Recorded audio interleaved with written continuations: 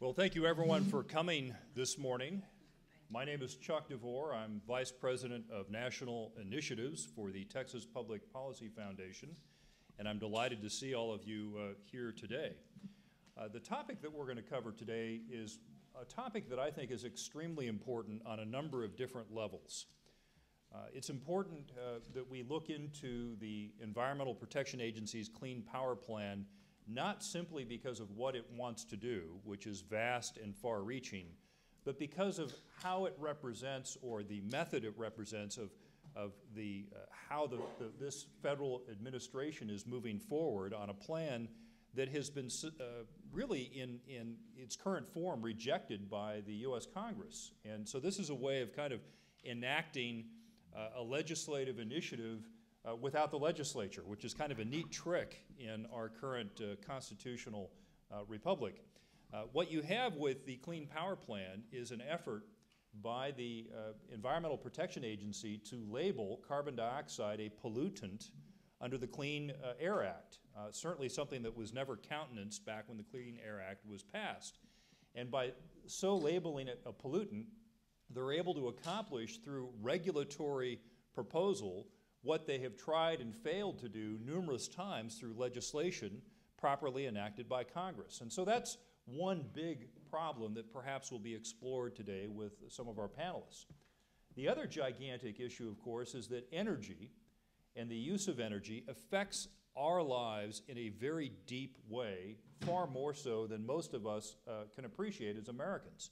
Because by and large, here in central Texas or around the nation, uh, when we turn on the power uh, switch in the house, the lights go on. And rarely uh, do they not go on. Usually it's because of a storm or some other uh, natural um, issue, not because of the unreliability of the electrical network. Uh, and yet, because of that reliability, we take it for granted. And we seem to forget the very elemental role that uh, clean and affordable and reliable energy plays in our lives. Well, the Clean Power Plan threatens to disrupt the very fabric of how Americans use energy and its costs. Uh, and that will be explored a, a, bit today by our panelists, and hopefully uh, through some questions and answers afterwards with all of you. Uh, what I'd like to do then is introduce our, our very first speaker. Uh, Representative Doc Anderson uh, has for over 20 years been an advocate of small business. Uh, he was elected to represent District 56, which is Waco and McLennan County, in 2004. Exotic he, Waco, we like to say. Pardon me? We like to say exotic Waco. Exotic, exotic Waco, exactly. I hadn't really thought of it that way before, but you know, if you really think hard about it, I think you, you could think of it as an exotic county. Yeah, I think you're right. Um, he, he's, he's represented that area since 2004 and has since been reelected four times. He was appointed by uh, former Governor Rick Perry to the Texas Small Business Advisory Council, and he currently serves as chairman of the Texas Legislative Rural Caucus, the vice chairman of the House Committee on Agriculture and Livestock, the House Committee on Investments and Financial Services, and the House Committee on Local and Consent Calendars. Now, brace yourself. Um, he is a graduate of Texas A&M School of Veterinary Medicine. Uh, Representative Anderson has served as a small animal veterinarian in Waco, pardon me, exotic Waco, uh, since 1981. Uh, ladies and gentlemen, please uh, join me in welcoming Representative Doc Anderson.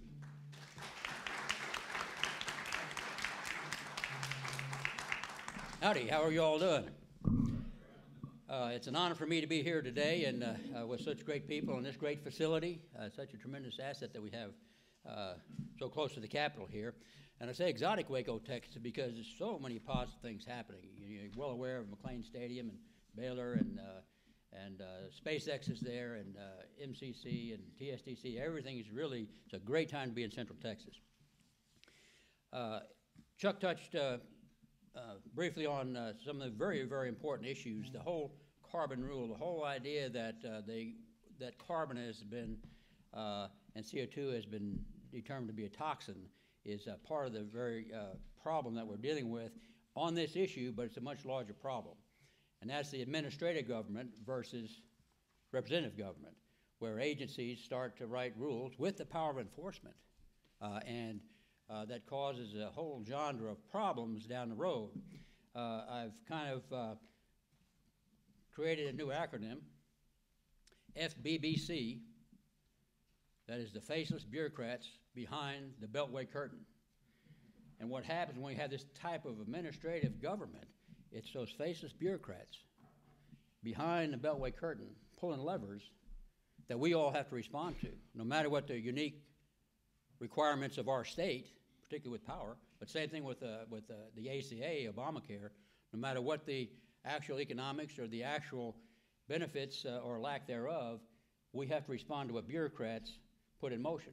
Uh, and so that completely uh, subverts Congress or legislature here in, in Texas, uh, and actually relegates Congress to a sideshow because they do what they want to do when they want to do it, uh, and they have the power enforcement. And so that's a very serious issue. This particular one we're visiting on today, uh, where the EPA has uh, tried to force states to set up an implementation plan uh, to to uh, start to regulate carbon, and they have determined that carbon is a uh, is a toxin, which is questionable. The way they've done that is, um, and as I ask you as we talk about these things, as the other speakers talk about these things, compare it to Obamacare. Just think about Obamacare because this is the template that's being used across the board. Did in Obamacare, if we just stayed up, set up state exchange programs, you'll be in good shape, and then uh, if, not, you'll be penalized, and the feds will set up an exchange program. Same thing here. They're asking that we set up a state program, and if you don't, well, then there's a federal program that will be forced upon you. And that's how they start the carrot and the stick to get you to go down that pathway. Problem is, once you start down that primrose path, it's very difficult to reverse course economically, and once they start setting up some of these statutes. And so that's where we're being hoodwinked, and we actually have to stand up as a state, protect our state sovereignty, establish what we need, what our industry, what our science, what our economy determines is the best way to go about energy and energy uh, uh, regulation. what they try to do quickly is there's four blocks that they have, and they call this um, the best systems of emissions um, reduction. One is where they actually control in the fence. You've heard the term in the fence, where EPA, and they have some authority there, will control what goes on within the fence, that is on the actual grounds, campus, if you would, of the, uh, of the electrical generating unit primarily coal. The bottom line is they're trying to get rid of one third of the coal fleet nationwide. Uh, and uh, kind of like uh, Chuck had mentioned, you know, they, they don't have any uh, real concern about what the costs are. They haven't really visited about what the costs are, but they're trying to foist this uh, upon us. So the one is pollution within the controls of the power plant. And that's things like chemical cleaning of the boilers and, and um, preheated air exchange units, cleaning those properly, perhaps uh, equipment updates and uh, software updates. Those things are well within the parameter of, of the EPA. But that's where they veer off the rails. Block two is actually natural gas utilization. They're going to tell us what's the best way and how we are going to enhance and use more natural gas. Well, that should be determined not by the FBBC, faceless bureaucrat behind the Beltway curtain. That needs to be determined by folks here on the ground looking at availability of these natural resources, looking at transmission, delivery, uh, and having price issues there and reliability issues there. Because as Chuck was saying too, we have come to depend on electricity as we see it as just a daily necessity. Well, some of these places where these type plans have been put in place, electricity has become a luxury. You know, affordable by those that have the money, but the, the very uh, lower ends of the economic structure can't afford electricity in a lot of ways. And so uh, that's where we'll be heading if we, if we embrace these. So one, they want to tell us uh, block two is natural gas utilization. Block three is increase the renewable energy usage. Well, hello, in Texas we do that. All of the above. Texas leads the nation in wind. We're coming up in solar. You know, we have uh, nuclear plants. We're doing that. And the way to do that is with the economic model, free enterprise, not by the FBBBC. The free market hand is what uh, we need to do to develop these, uh, these uh, renewable energies. And third, and this is very uh, worrisome too, is uh, energy efficient targets. That's the end user reduction of the uh, use of electricity and users. Folks, that's you and me. And they have incentive plans at the front end. I say as an aside, show me the money. Because again, like with Obamacare, they had all kinds of incentives. If the states would adopt a state plan, well, there'd be incentives. Well, all those evaporate this year. So the 17 states that did that in Obamacare, every one of them is in the ditch. By the end of 2016, I'll guarantee you they'll all be going over to the federal plan. Same thing here. They're going to offer incentives to, so that you cut down your use of electricity. And it's interesting, ERCOT, which I very much respect, ERCOT's a great organization, they've done some uh, early studies. ERCOT says that they're looking at, and they're projecting a 20% increase, which is very, very, very conservative. I would think it'd be more like 40, 50, 60% in that range, increase in your electric prices, small business electric prices, big business electric prices. Uh, they say there's possibly 5%, 1 to 5% efficiencies by regulating the end demand use, what you're using in your home, with incentives. Well, the EPA says 10%, 9.9%. So you see the economy right there at the front end is a problem because if ERCOT is closer, that's only 5% that they're going to be able to cut down the usage, and, and, and uh, EPA is saying it's 10%. Well, right there, you can see where there's going to be a, quite a problem with uh, cost, availability, and that type thing. And what do they do when the incentives don't work? You know, there's been some talk about constricting uh, electricity for air conditioning. Well, that'll work well in the People's Republic of Massachusetts, but that won't work well in exotic Waco, Texas. And so we really, and, it, and this affects the entire nation, so all the states have to be concerned about that. Uh, the, um, what these four things do, that's their plan for uh, to uh, control the use of carbon, which, like I say, is questionable if it's even a uh, pollutant, really, but that's what they, they want to do. Uh, rather than having, like Texas does, we can decide what our energy mix is, and we should be able to decide what our energy mix is. The, um, uh, but that's where we are, and it's, like I say, the administrative form of government, where you get administrative uh, uh, groups want to decide what, what we do out here, rather than the, the representative group. And these self-imposed regulatory constraints, New Mexico has already cut down one of their most, uh, shut down one of the most efficient uh, pulverized coal plants to show good faith. You know, the idea is they want to be at the table and not on the menu. Well, they need to talk to insurance companies and other folks that dealt with Obamacare the same way. Let's kind of go along with them, see how things work. It's a shifting paradigm. So you think if you approach this with a reasonable attitude and you want to try and work with the federal government and set up these things that will be in the long run hopefully helpful, well, it's a shifting paradigm. You know, with the uh, emissions reduction goals, there's a 2014 rule. And then there's a 2015 rule. Is there anybody in this room that doubts that there'll be a 2016 rule? And just like Obamacare, it's a shifting paradigm because they can write the rules as you rock along, and they will. Dodd Frank is another example with the uh, banking industry. They're writing the rules literally as we speak. So we have to be cautious of that. It should be done in a much more regulated manner through the uh, representative government. We should protect state sovereignty. That's the number one goal is, is state sovereignty. The administrative form of government undermines state sovereignty. Uh, let me say here, I'm getting the hook here. The um, think of the average Texan. One, the Obamacare increased premiums, outrageous deductibles, family of four, $13,000. Uh, and what that does to our economy. Now, if you come in there and add 20, 30, 40, 50, 60%, whatever it is, increase in electric prices, where you'd be with that. So that average, uh, the folks on fixed income, seniors, or uh, youngsters starting a family, what would happen to them economically if this comes into full fruition. So with that, thank you. Appreciate you.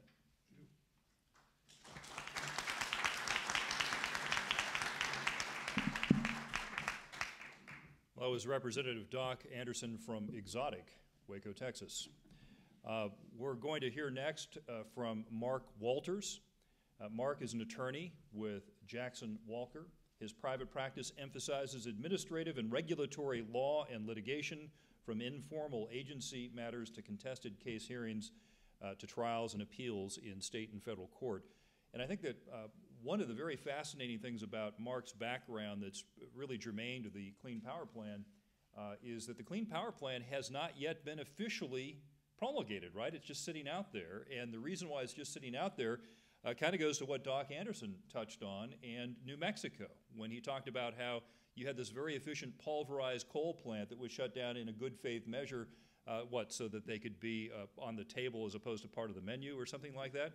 At the table as opposed to being part of the, uh, on the menu. So, uh, what you're seeing with the Clean Power Plan just kind of being put out there, but not officially released, is uh, kind of using the, the, the, power of government in fear to get people into line, but it prevents uh, lawsuits. It, it's a way of, of preventing uh, people like uh, uh, Mark from getting engaged because there's nothing that's beneficial, right? It, it's, uh, oh, it's just, it's out there for comment. We're just, you know, here, here you go.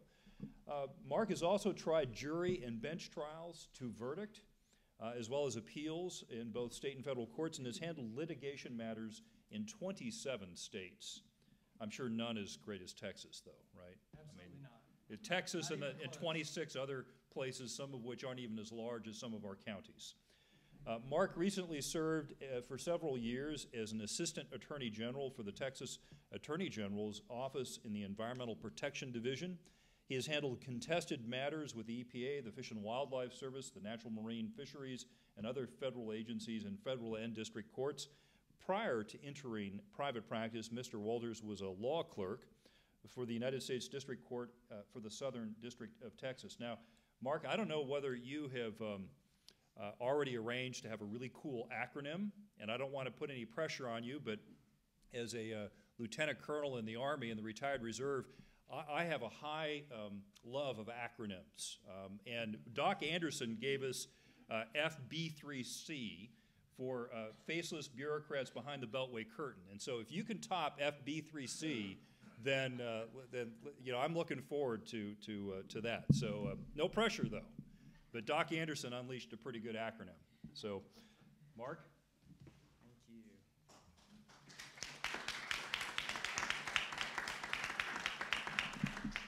Thank you very much. Um, I, I have a PowerPoint, uh, which is a it is a, a much reduced uh, version of a PowerPoint that we prepared uh, that illustrates the differences between the proposed rule and the final rule. Uh, I'm, I'm not going to spend a lot of time talking about those differences today, um, but, but we do have copies of our larger PowerPoint available on the information table. Feel free to take those. Uh, use them uh, in any way and for any purpose uh, that is helpful. Um, unfortunately, and I will tell you by way of background, although I am a lawyer, I'm not a career environmental uh, lawyer. I've spent most of my career uh, litigating uh, either for or against heavily regulated uh, industries, but I did not really become involved with environmental law until I went to work for the Attorney General's office uh, about six years ago. While I was there, I was fortunate enough to be involved in, in some capacity in almost all of the federal rule challenges that Texas was involved with against the EPA and against other federal agencies. But I will tell you, when I was first sitting in conferences and on telephone conferences about the Clean Air Act, I had no idea what anybody was talking about. And I had prided myself on my ability to be a quick study and deal with very complicated, very technical issues like securities litigation in federal jurisdiction. And I came out of the first few meetings literally thinking, I know these people are speaking English. I understand many of the individual words that were used, but I'm not sure I understood even one of the sentences that came out of anybody's mouth. Um, I, I was it made me feel somewhat better to find out that that is not uh, an unusual experience that people have on first encountering the Federal Clean Air Act. Unfortunately, it makes it very, very difficult for a gathering like this um, because we could literally talk for weeks uh, about this rule and the problems with this rule uh, and not get to the end of it and still have more things left to cover.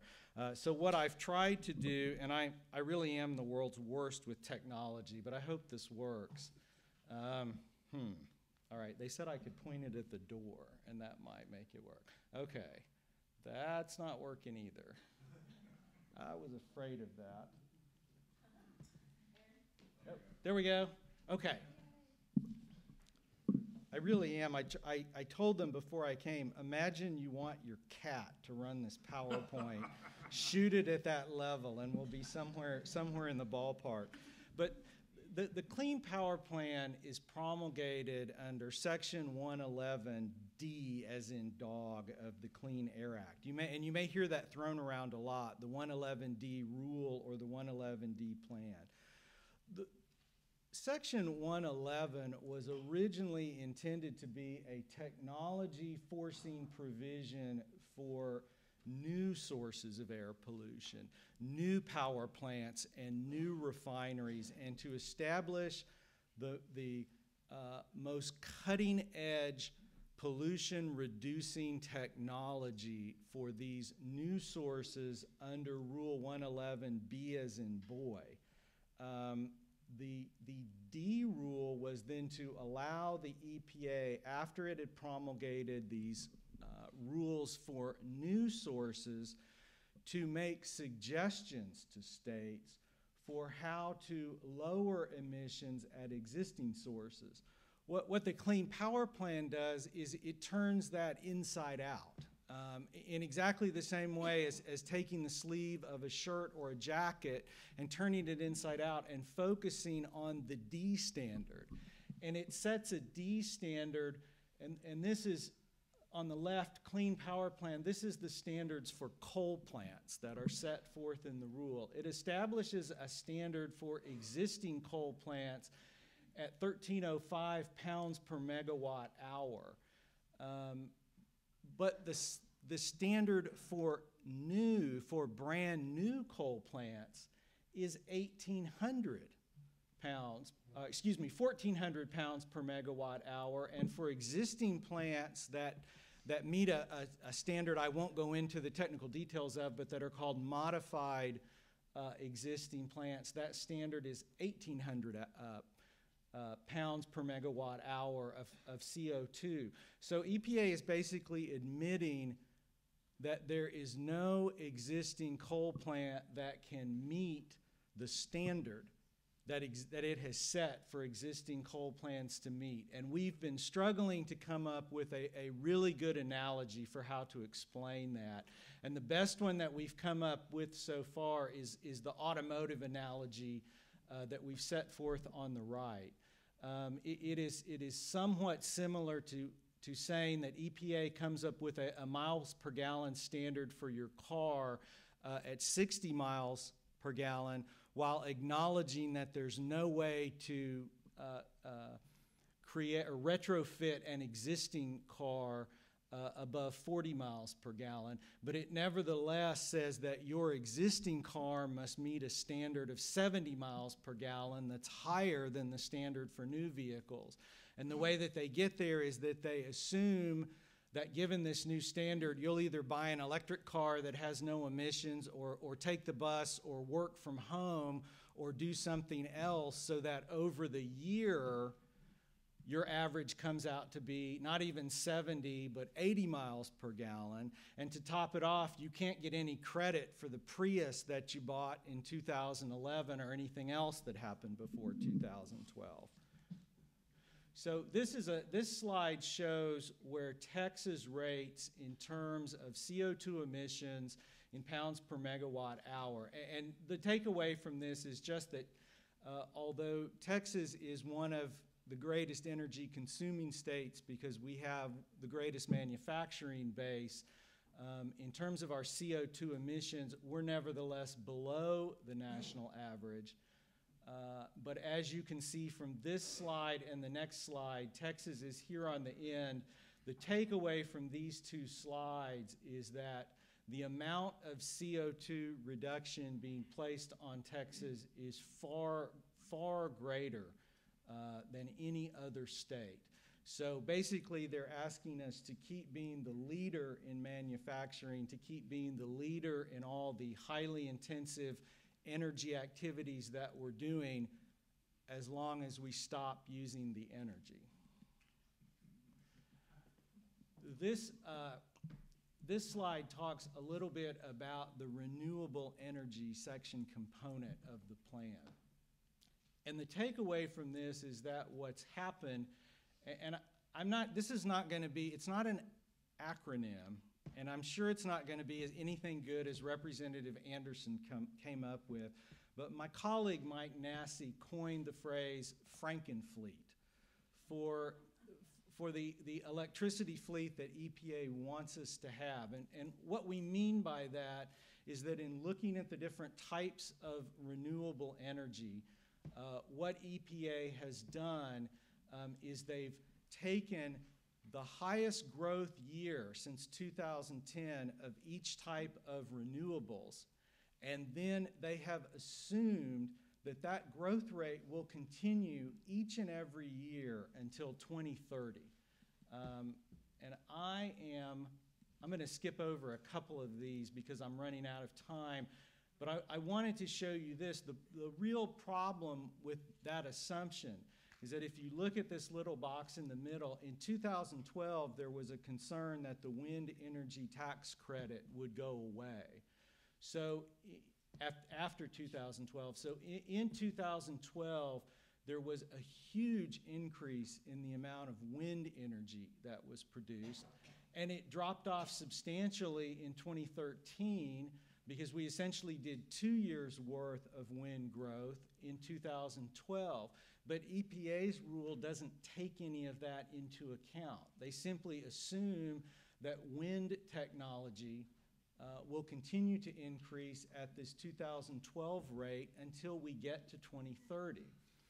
And what that ends up with, as you, I'm just going to quickly go through these slides, but what we in Texas will end up with, if we take these EPA assumptions, is on peak days in August, when it's 105 degrees outside and the wind isn't blowing on the high plains where all the onshore wind is, we're going to end up with a gap in electricity.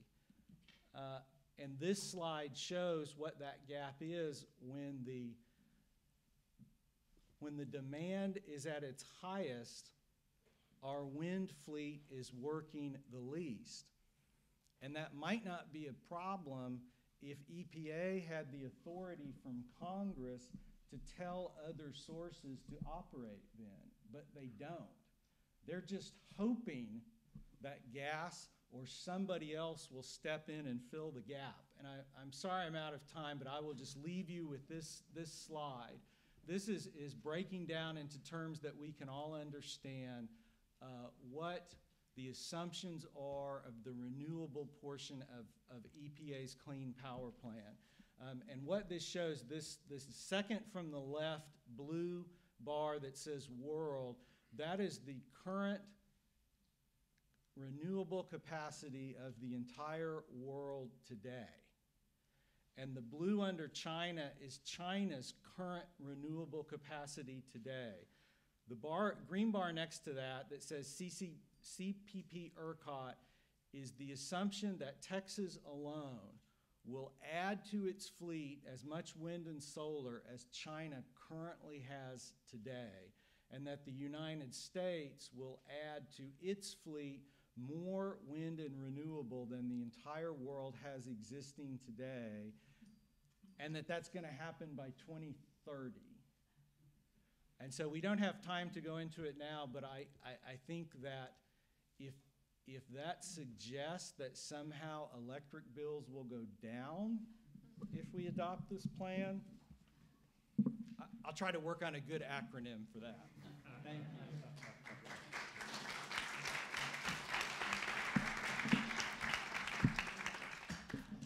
Think there's an existing acronym uh, that you could use uh, that would assume the unassumable, right? But we won't, but we won't go use it because of polite company here. Um, although Frankenfleet, it wasn't yours, but that, that was pretty good. So I- I'd say Frankenfleet, that, that, we'll, we'll let that qualify. Uh, You had mentioned in that last slide i- i- the enormous amount of renewable that the EPA plan assumes uh, versus uh, what the entire world has today. And I think it's uh, important to, to note that under the EPA's own calculations, if this were to be enacted and completely followed through on, assuming that you could pay all that extra money for your electricity, the EPA's own calculations assume then that the uh, net uh, reduction in the uh, global temperature would be 0.02 degrees Celsius. Um, that's a lot of pain for no gain, isn't it? Well, anyway, next we're going to hear from Peggy Venable. Peggy is the Senior Policy Fellow for Texas Policy and the Legislative Director for Americans for Prosperity, a grassroots organization committed to educating and mobilizing citizens about economic policy and the public policy process.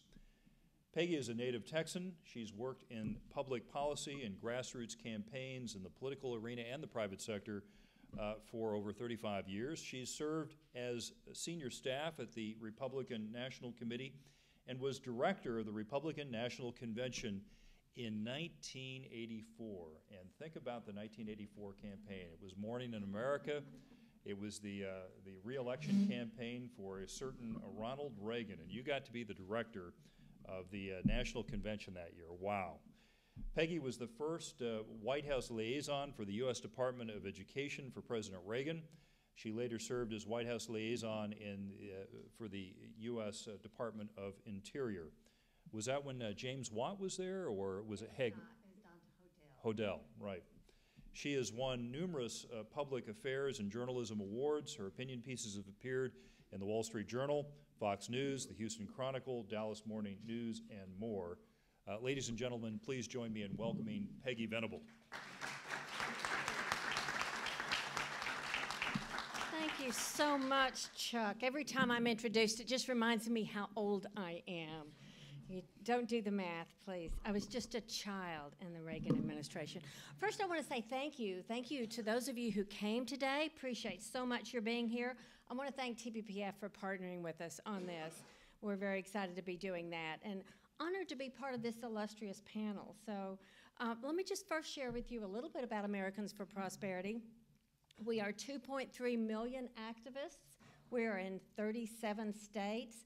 And you here today, I believe this is the launch of our Switch Off Washington tour that will be traveling the country. So, um, thanks for being here for our first first stop. We'll be in Arizona and Colorado next, I believe. Is that right, Jerome? And um, of course, this is really an issue important to us because we recognize full well that our mission is to promote free market policies, and we recognize that free market um, policies like uh, really give us affordable and reliable energy, which is really needed to grow our economy. So, thank you, Mark, for being the first one to test out this little gadget here. We'll see if I'm as smart as a cat, a dumb cat. We'll see. But um, I do have a little PowerPoint, and I don't know how many of you picked up our little flyer, but we do have a flyer. We hope you'll pick this up on the way out. I'm really just going to go over what talking points Americans for Prosperity is using as we travel the country talking about this issue. And the fact is that this rule is really what we like to say it's unprecedented, Uh, unconstitutional, and really un American. It is the most far reaching regulation that has been promulgated, probably even by this administration. We believe the EPA doesn't have the authority to be doing this under the Clean Air Act.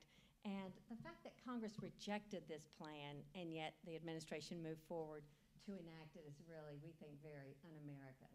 So we really want to talk also about how this will implement our economy, but also Texas families and the individuals.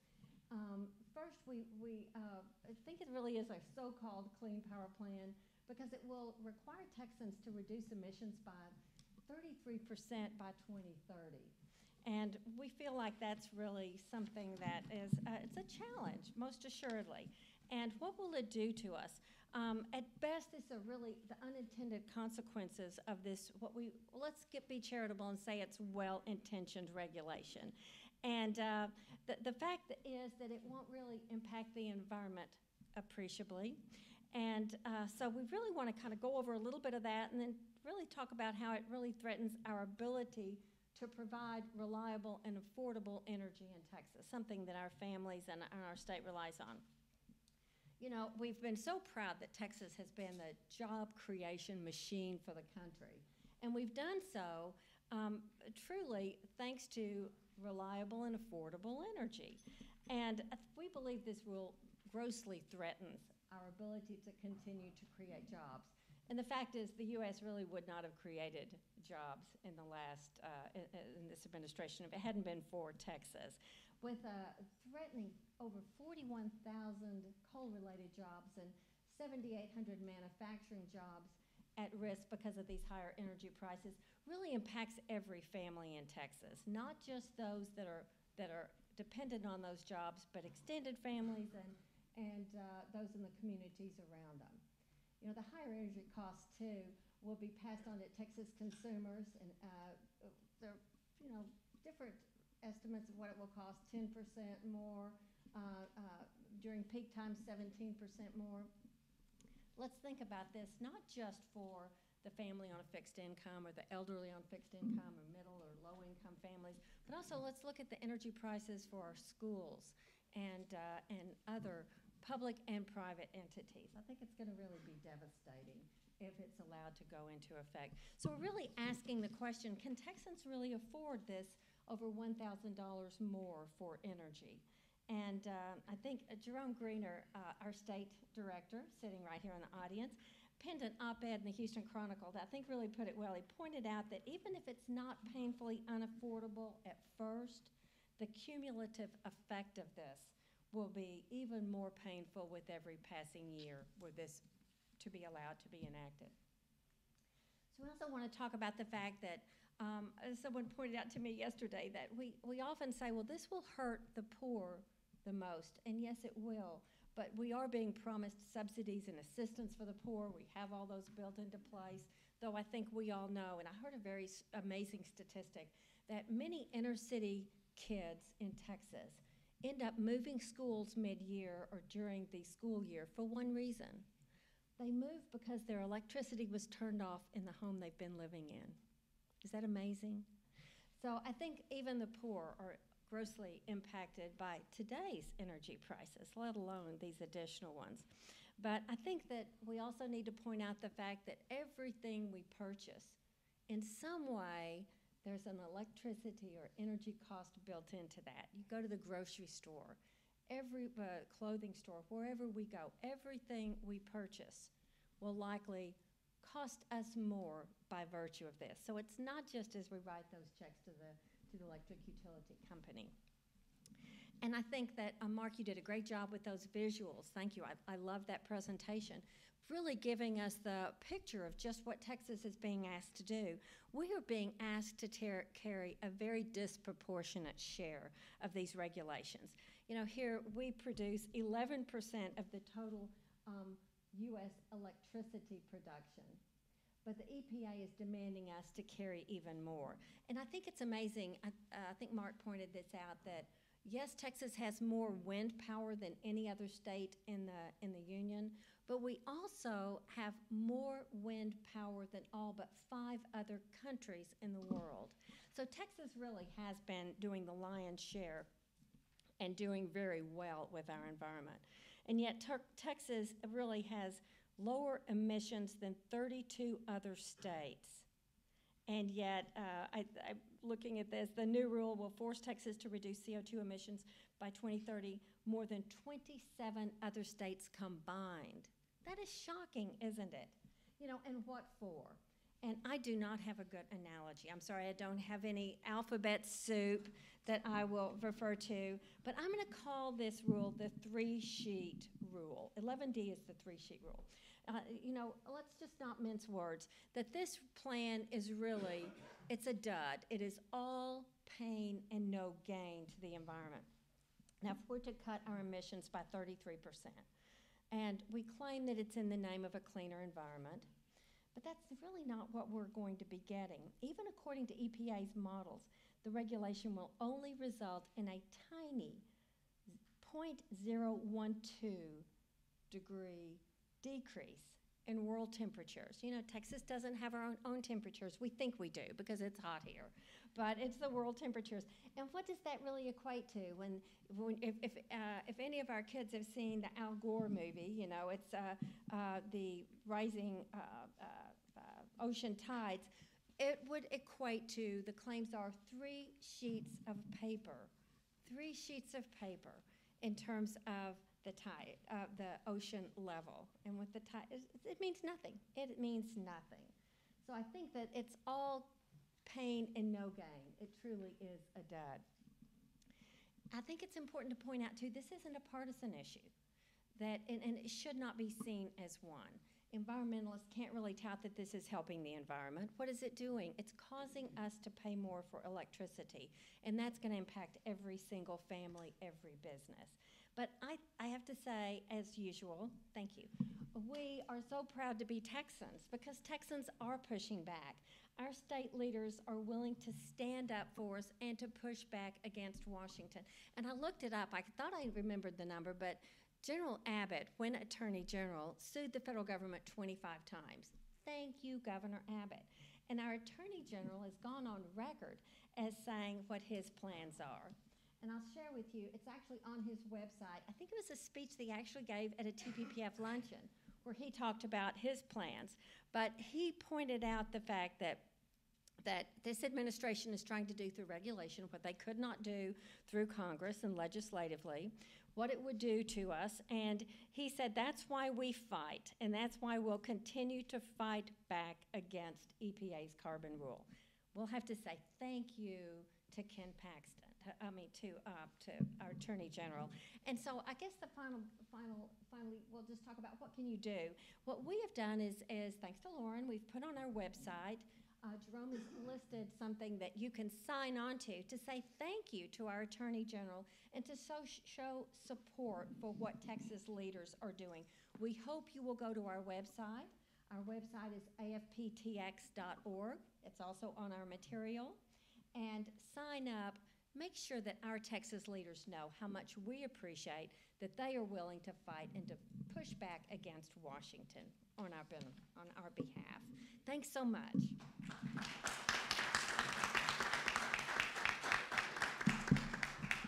Thank you, uh, Peggy. I was going to actually go back and, and point out on that uh, previous slide, I don't know whether this thing will, will work or whether we've already gone by, oh, they've already switched it over.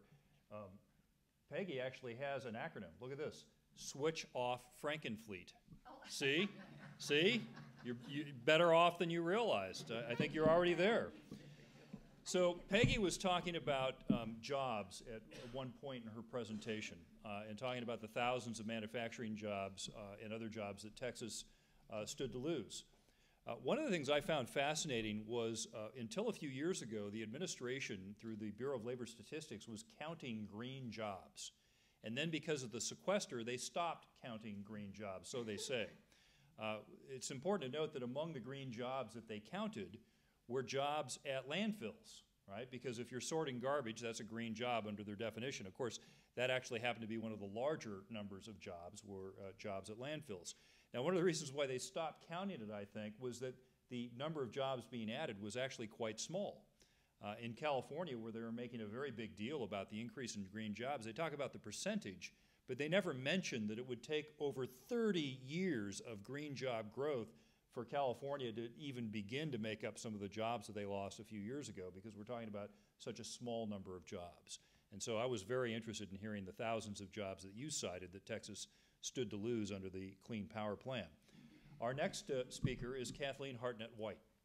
Kathleen is the Distinguished Senior Fellow in Residence and Director of the Armstrong Center for Energy and the Environment here at the Texas Public Policy Foundation. Kathleen, I know personally, works tirelessly to stop federal government overreach. Uh, in fact, I guess that's what you'd call job security. Kathleen Hartnett White was appointed to the Texas Commission on Environmental Quality by Governor Perry and served under Governor Bush on the Texas Water Development Board. She is the, uh, on the editorial board of the Journal of Regulatory Science uh, and the Texas Emission Reduction Advisory Board, and also serves uh, with the Texas Water Foundation. Her articles have appeared in numerous publications, including National Review, Investors Business Daily, the Washington Examiner, Forbes, Daily Caller, The Hill, and other major newspapers across Texas. Now, this is the really exciting part. She is, no, it's not about an acronym, I wish it was, but, but she's currently nearing completion of her book, co-authored with Steve Moore, uh, who I think is now the chief economist over at the Heritage Foundation, formerly of the Wall Street Journal. Uh, the book is entitled Fueling Freedom How Abundant Energy Has Transformed the Human Condition and Released Billions from Poverty. So we're all very much looking forward to the release of that book that Kathleen has been laboring on so diligently over the last several months. Ladies and gentlemen, Kathleen Hartnett White.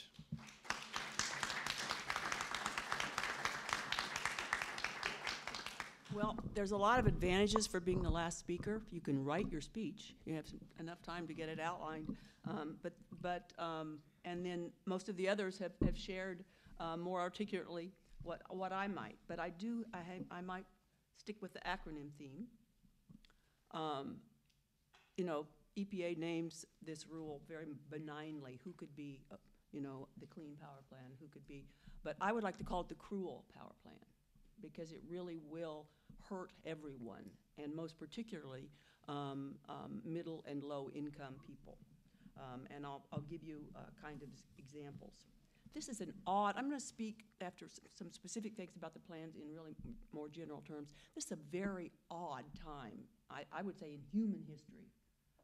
Um, there's never been a society that wanted to reduce the amount of energy it had accessible, it had, uh, that was accessible to it.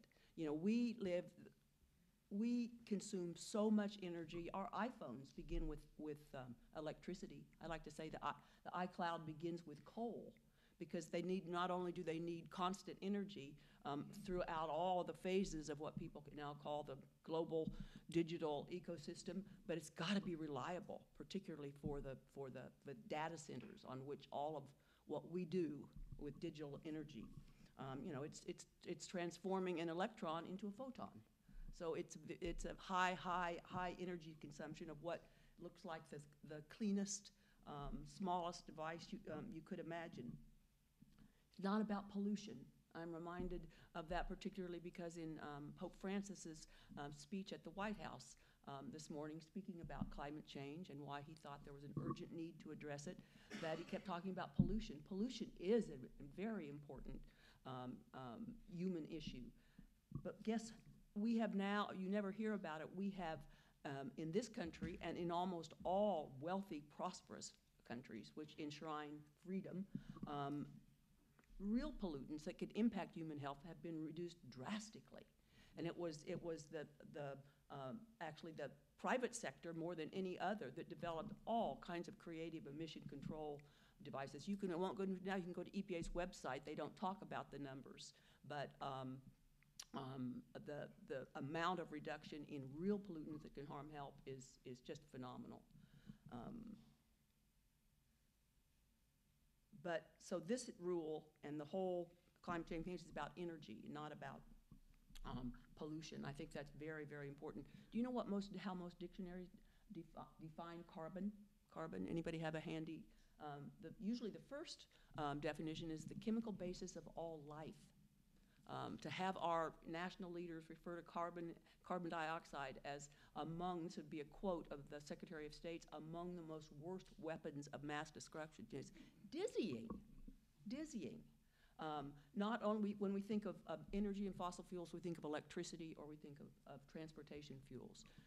The entire global food supply is dependent on major um, fossil fuel input. Fertilizer based on carbon dioxide has enabled productivity that would have been undreamed of, um, that has, has um, changed the whole dynamics on, on, on, on poverty and um, an adequate food supply. Um, the United Nations says that, and the United Nations has recently said that more people were released from poverty in the last 50 years than in the last 500 years. And that has all to do with energy. It runs through our society like the metabolism of the, of the, of the, of the human body. And, and now we supposedly have an urgent threat um, to the planet from uh, um, CO2 emissions, and yet there are hundreds and hundreds of studies that also show that the amount, slightly amount, increased um, CO2 in the atmosphere as a result of human activities is, is it's working like a fertilizer there in terms of plant productivity. 60% of all synthetic materials derive from um, fossil fuels. And the point is, why don't we just switch to renewables? And because they're a little more expensive, we'll, we'll weather, we'll weather the, the storm. We need only look to Europe in a couple of countries that are more like our country than, than any other countries in the world, Germany and the UK, who about half a dozen years before EPA proposes the Clean Power Plan had enacted laws to do something very, very similar. If you Google energy poverty or electricity as a luxury good, there's all kinds of things. You'll see all kinds of headlines in major German and UK media. One of my favorite is that Germany's green energy revolution is a fatal blunder with ugly consequences. It doesn't work. What's going on in Germany now, and, and the, the, the UK is, is not far behind it, is um, they are actually increasing carbon dioxide. They're going to uh, plans to build 10 new lignite-fired power plants. Why? Because the more renewables they put on the grid, they have to back it up 100% to avoid fluctuations in transmission or in, um, uh, in dispatching electricity to the, to the grid. One thing EPA's cruel power plan does that um, uh, was not mentioned, I, I fully agree with everything else I heard, but is that it makes dispatch of electric power to the grid based the priority is based on the carbon content of the fuel. This replaces um, cost, safety, and reliability. And that's a way why it's really cruel because it jeopardizes the whole system by putting um, um, fuels which are ultimately are, are, are require far more um, inputs and therefore higher costs, but it doesn't work. Um, the more renewables Germany and the UK are putting on, the more they have to, to have either coal-fired power plants or um, natural gas-fired power plants in the ready, like a car idling. Uh, also because of this, if you look a little closer than their boasts about how much renewable they're putting on the electric grid, um, in their energy portfolio in Germany now, 40% of that is from wood. Um, and the EU made a, a, political decision, not a scientific decision, that um, a wood was wood was carbon neutral um, because you can burn a tree and you can plant a tree. But it's amazing what's going on. And the cruel part is um, Google um, um, in energy poverty in Germany, and you get statistics that up to 800,000 homes in Germany no longer are connected to the grid and indeed burn wood for, um, for their heating source. It's amazing that this is not, I think it's really important for our policymakers at the state level and the, uh, at the national level to look very clearly at what's going on in Europe. Your renewables, as far as the extent of demand, demand we depend upon in prosperous countries, renewables don't make. Um, and if, uh, there's, if you look at the engineers rather than the climate scientists, um, it's really, really eye-opening. If this rule survives judicial scrutiny, it will have changed our form of government for many of the reasons everyone shared here. It is, you know, non-elected um, employees of the federal government have, have come up with this. Um, policies with this kind of consequence must be a decision of those um, who represent us that we vote for, in, or we will have changed our form of government. And I'm just going to close with another kind of big sweeping things. What else, what other major issues happening as, as we now have federal mandates to reduce um, consumption of energy? Um, we have a, a, a revolution in, in oil and gas production from shale that has the potential to not only change our country but the world. We have access now to a vast quantity, and the whole world does, uh, but we have access to a um, enormous store of oil and gas in, in that in in shale, which could transform it had it had did transform the Texas economy, and it certainly could our nations and and the and the world's. There's something like um, 120 billion dollars in the last three years. It's been invested in the uh, um, construction of new petrochemical plants or expansions of current ones, all kinds of positive consequences. And it's happening at a time where we have learned and succeeded um, in, in operating upstream oil and gas production, refining, uh, refining, you name the industry. We can do so with enormous environmental sensitive, sensitivity to real pollutants. Carbon, carbon dioxide is not one of those. Um, and so I will just um, close in saying really important to step back sometimes beyond the, all the complexities of these rules and what, what they would do um, and see the grand sweep of this. This is, um, I didn't reach this conclusion easy, easily. I'm not a, uh, always imagining there's a, a black helicopter from the United Nations um, circling around. But this is about power. This is about power.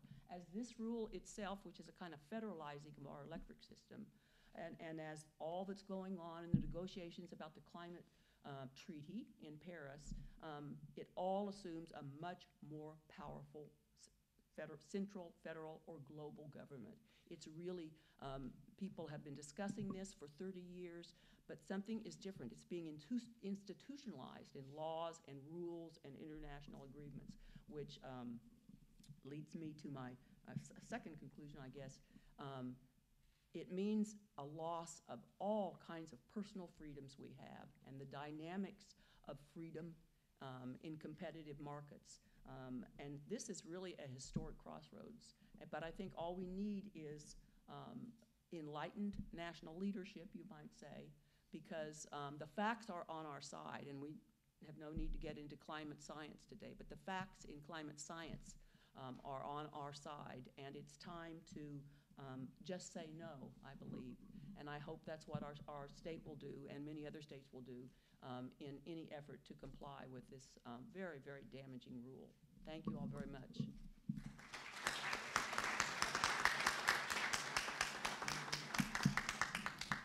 Thank you, Kathleen, and thank you, panelists, for some provocative uh, presentations. Now it's time for audience questions and answers.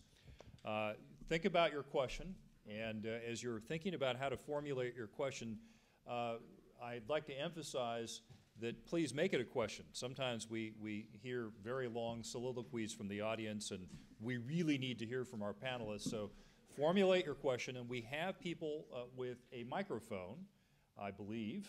Uh, yes. Uh, and so if you wish to ask a question, uh, please raise your hand. And uh, what we'd like to hear from you before you formulate your question is who are you, right? And if you're from an organization, let us know uh, what, what organization you're from. And then if you have a question to a specific panelist, uh, let us know who that panelist is, and let's uh, go to Q&A. And I think we may have a question over here. Uh, Hi, my name is Jeremy Mazer. I work for Senator Van Taylor. My question for the panel is, it's for all of you. Let's say we come back 10 years from now. The, the Clean Power Plan rule has gone into effect. The judges have upheld it. When you come back to this panel 10 years from now, what's going to be your key point in talking about this Clean Power Plan's implementations? What would be the benefits or the flaws to the plan that you would foresee 10 years from now at this panel? That's a very provocative question, and I have to say, for the audience, that's the standard to which you should aspire. So please. I like, because mine's really quick, uh, and I forgot to mention this to you. In Germany, the retail electric rates are three times higher, not thirty percent, not seventeen percent. They thought they were earlier. I'm, I think that, that um, it, it will be a situ- a situation where electric rates have gone up like three or four times, which is something that affects every family, every business, uh, every hospital, every school.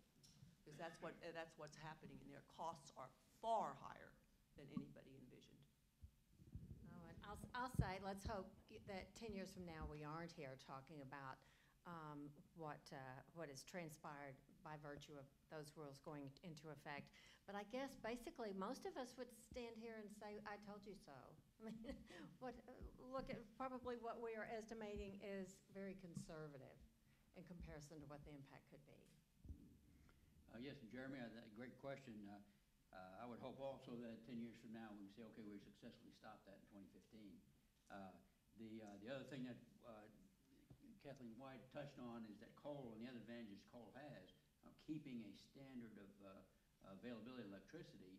Uh, With this plan, it has nothing, it does nothing about all the other regulatory problems that the uh, electric industry is dealing with, like the, uh, the regional haze program, the coal ash uh, program, the MATS, which is mercury and uh, air toxins, the um, cross-state air pollution, the, all these other federal government regulations that this industry is trying to deal with. On top of this, this is not in a vacuum, but this is another big crucial issue. Uh, and so all those things can affect the coal industry. The coal industry is critical in ramping, that is, so that, matter of fact, if some of these coal plants, because of these things, they're dealing with other issues, and they have to make a decision, are they gonna add on another black box, are they gonna put more money into trying to take care of the haze program, for instance? May just very well just shut down, and say, well, you, hey, you know, we're out of the game, we just can't afford it. When that happens, and the amount of electricity from, from coal generation diminishes, it actually can diminish the implementation of renewable energies that require, of talked about, uh, that require a, a constant coal baseline, if you would, to be able to integrate these other uh, energy forms because they don't come at the time that, uh, that we actually need to, to, to ramp up our energy use. Thank you. I guess I would say in the, the hypothetical that you posited, my questions would be, one, how are you enjoying having the electricity reliability of a third world country? Uh, Two, how many of you that can afford it have invested in a personal backup generator? Uh, and I bet it would go, I bet if I asked that question today, it would be less than ten percent. I bet then it would be eighty percent or more. Uh, and three, to, to quote Dr. Phil of all people, uh, how's it working out for you calling EPA and the National Resources Defense Council when your lights go out? So just to uh, further add to um, uh, the simulation, I know we have Olivia back here uh, on the sound and light board. Olivia, bring the lights down just for a moment. We'll do a simulation of a decade from now. All right, here we go. Here we go. See? See? Okay, now you can bring them back up again. So, and of course, what you don't see is behind the door there. There's an intern on a bike generator keeping keeping this going. So. Um, all right, another question, please. To Roger Borgelt, who I know will ask a wonderful question. Okay, uh, Roger Borgelt, I'm a practicing attorney in the regulatory arena, and I guess my question would be, is this the rule, is this the case that, I'm assuming this is ultimately gonna end up at our US Supreme Court ultimately, where we finally get rid of this legal doctrine of deference to the reasonableness of whatever any regulatory agency does? I mean, we do we revisit Chevron with this case? Is this the one? Ah, I'll take that. Well, I, I would say, I would have to say, I, don't think that, that Chevron, uh, will completely go away with this case. I, I think it will certainly be revisited again. And as some of you may know, in the last, uh, Obamacare case, uh, what, uh, Chief Justice Roberts said, and I'm, I'm paraphrasing, but essentially, we are not going to apply Chevron deference in this case because this issue is, is too important.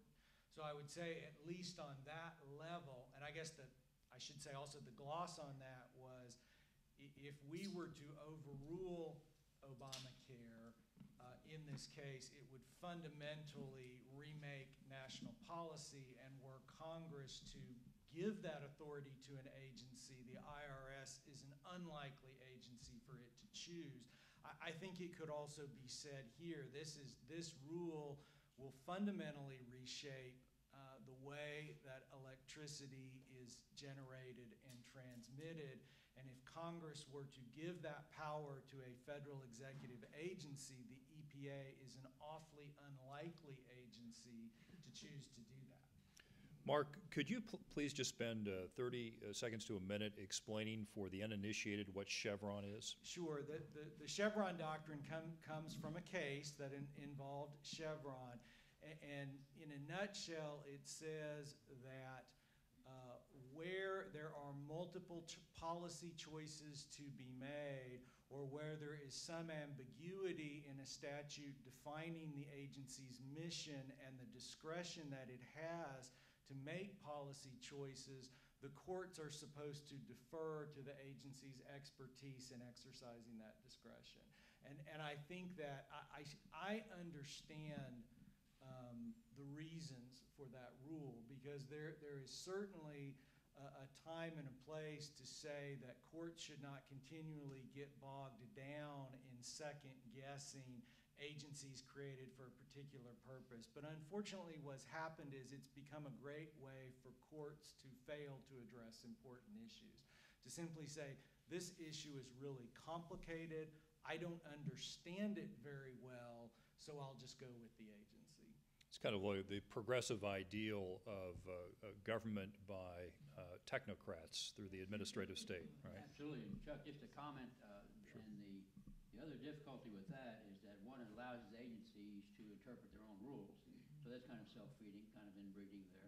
But these agencies unfortunately have the power of enforcement. Right. And so, I mean, so they really take it down that, that Kathleen? But, um, and in, in, in response to both, those two comments, um, the Clean Air Act, and really I would say of all the major federal environmental rules, but the Clean Air Act particularly, even more so than the Clean Water Act. In, in the language of the act, Congress delegates such huge authority that are- it is more law-like authority in terms of the kind of decisions and, and the magnitude of the consequences of those decisions, that the root of the problem, I think, is that, is that that delegation um, in statute, under the, under the current terms. I mean, I think that, that, I think that you can, you can articulate um, um, in statute some limits to that authority that are not there. And forty years ago, when the act was enacted, it wasn't an issue. But it's kind of a nice situation, Congress can be very enthusiastic about clean air, cost is no objective. Um, and, um, then they can blame the agency when the agency, if the rule of the court says, I'm not gonna interfere with Congress delegated so much broad authority to the agency. I mean, it's, it's a vicious circle that ultimately must be, um, if it's changed at all, must, to me, must be a change in statute. Another question, please, from the audience? Yes, in the back, over here. Thank you. Will McAdams with Troy Fraser's office. For the panel, is there a danger, uh, or, or what should the, pol- the policy strategy, uh, what policy strategy should the state pursue, um, especially over the next two years, before the next session, that would not endanger the legal strategy that the industry coalition and the state are pursuing in tandem?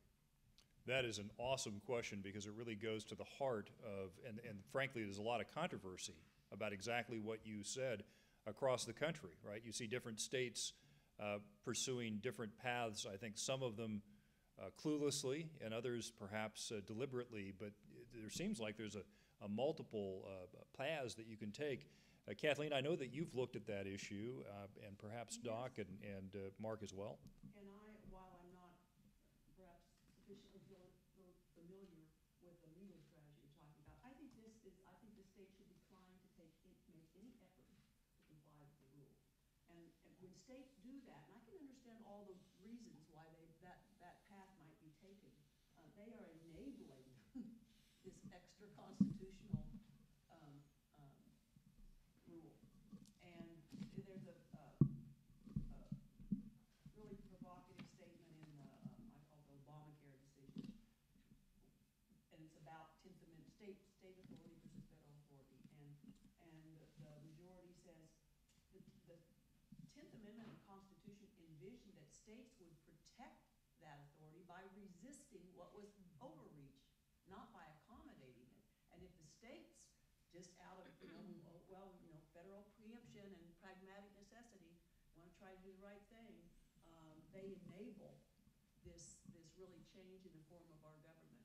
And if you close it, it, the section closes where you just said the state wants to protect its, its sovereign authority, it has to act like a state.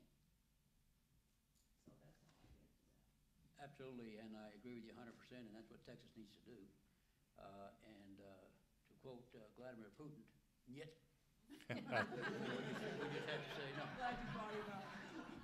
But, uh, but actually with, uh, there, multiple states have had different responses. Generally, it's uh, trying to uh, restrict their agencies from overacting. In other words, the agencies have to come back for legislative approval before they go forward with the, the state plan.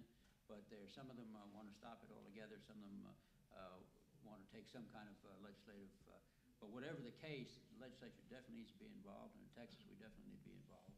And we'll see what that format evolves to. I, I guess I would say, and I, I don't disagree with anything that, that um, my distinguished colleagues on the panel have said. I, I, and I don't think anybody, I don't think you're gonna find anybody that would recommend uh, that Texas simply capitulate um, and, and comply with the rule. I, I do think that there, there is a case to be made uh, for at least considering the option that, that Texas propose and other states propose a, a, I don't know what the right word I'm looking for is, but, but I think everybody agrees Has the power to do certain things that are talked about under the rule. And I, I do think that there's room in the discussion. And full disclosure, I represent power plants uh, and, and electrical producers.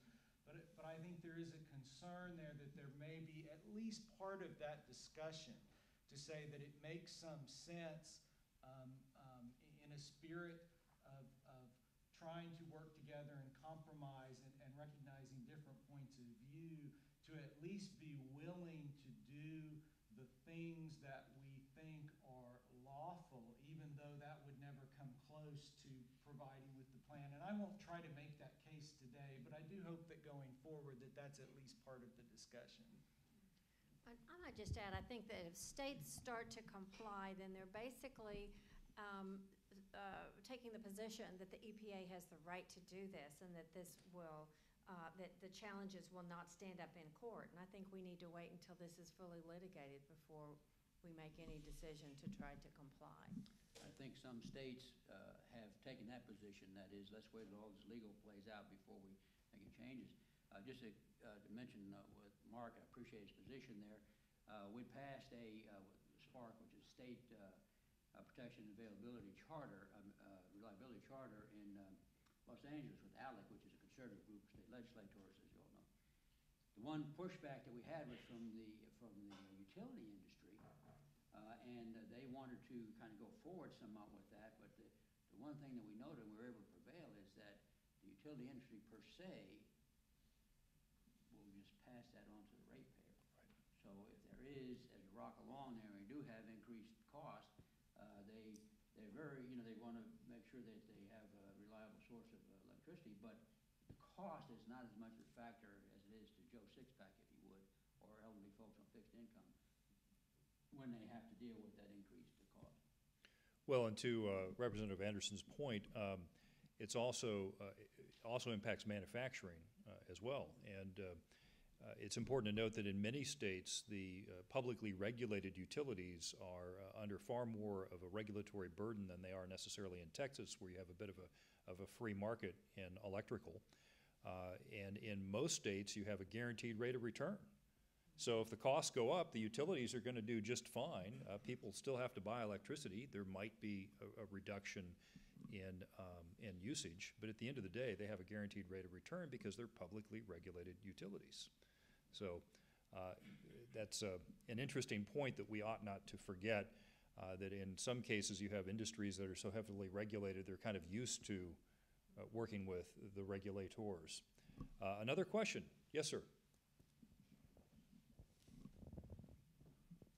Hi, I'm Mark Farrar. I've been an activist here in Austin regarding residential rates. And um, my question was the, the um, projections that ERCOT is making about what the impact would be on our residential rates seem really, really mild to me. And what assumptions are they making even about having that base power available? Because even prior to this rule being considered, they were under a lot of pressure to start considering these central planning kinds of approaches to making sure we had enough capacity for our grid. What's going to make people come to the table with capacity when, when the uh, electric is going to be uh, dispatched based on your carbon rating rather than the, uh, the efficiency of the, the plant that you built and put online. Let me, let me stay just one second here, if I can just kind of read a little bit here. This is from ERCOT's preliminary study, uh, and the, uh, which I very much respect, like I say, it's a great organization. Uh, But they're talking about a twenty percent projected increase by twenty twenty, without accounting for associated costs of transmission upgrades, remember CREZ, six point nine billion dollars. Natural gas supply, what would be the cost when uh, nationwide they're trying to force more natural gas uh, utilization? Uh, Infrastructure upgrades, procurement of additional ancillary services, energy-efficient investments, capital costs of new capacity, uh, and other costs associated with retirement, decreased, or decreased operation of coal-fired power plants. So you can see, there's a lot of uncertainty So, there. so it's twenty percent, but not including that long list that you just. I think your point has just been made. I'd just Kathleen? like to add again for the lessons from Europe, what happened uh, um, more acutely in Germany, but also in the UK, is that it became uneconomic for the coal and natural gas plants to operate. So they, not all, but some of them closed down. Both countries are now subsidizing um, coal or, and natural gas, and they're a very different natural gas setup, particularly Germany, that pays a very dear price importing it from Russia. Um, But they've had to eh, sub- subsidize everything, subsidize the, the plants to come back online for backup. And they claim that now that it, that they generally need, they call it hundred percent redundancy. Think about what that means. If, if there's a demand, uh, you know, the grid, electric grid is, is a, a- a marvel and an amazingly complex things. Electricity is generated almost instantaneously with demand. You know, there's no, there's no, there's no lag time. Um, but, but what it has meant is they're paying twice for the same amount of energy that they're, now just imagine how that increased cost flows through the whole system. Um, and it's ultimately, I hate to use the overused phrase, non-sustainable. A a point too that we might mention, you know, the same, F, the F three BC, the faceless bureaucrats behind the Beltway curtain, uh, they're actually talking about natural gas is a fossil fuel. And so we need to start regulating natural gas. And so as I say, folks come out and they want to take a reasonable approach and try and, uh, deal with this issue. But it's a shifting paradigm. If you look at Obamacare, what they were doing, rewriting the rules as they go along, rewriting laws as they go along. And they could very well, and some people are talking about, okay, we need to start constricting natural gas because it's a fossil fuel. And then they're also talking about methane. And how are they gonna regulate methane? So what we're looking at today, or what the final plan proposal may be, is gonna be a shifting paradigm as we go forward. So, I mean, that's definitely something we need to keep in mind as we deal with this issue. Well, ladies and gentlemen, the uh, appointed time is nigh, and our panel is coming to a close. I would please uh, invite all of you to recognize our wonderful panel.